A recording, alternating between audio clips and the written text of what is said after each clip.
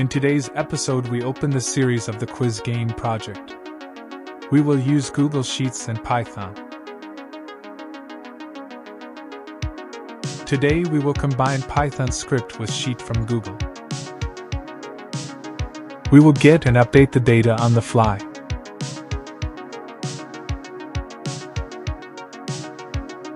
We will start by creating a new spreadsheet.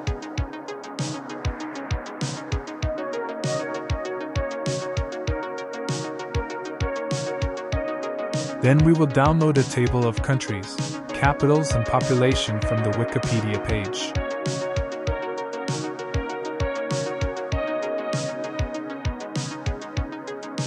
The data we want is in the second table.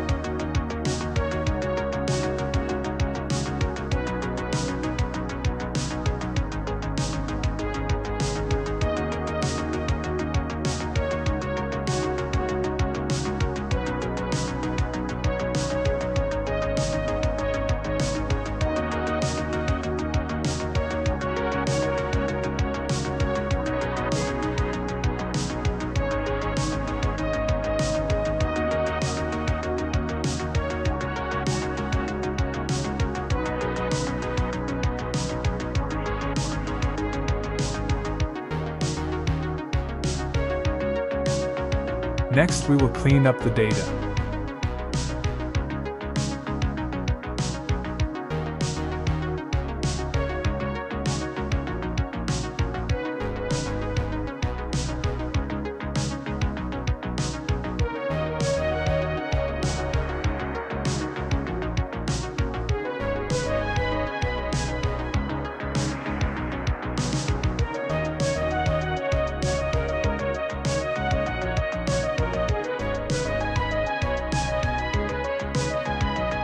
The next step is to go to the Google Cloud site and download the key to the API, thanks to which we will connect from the Python script.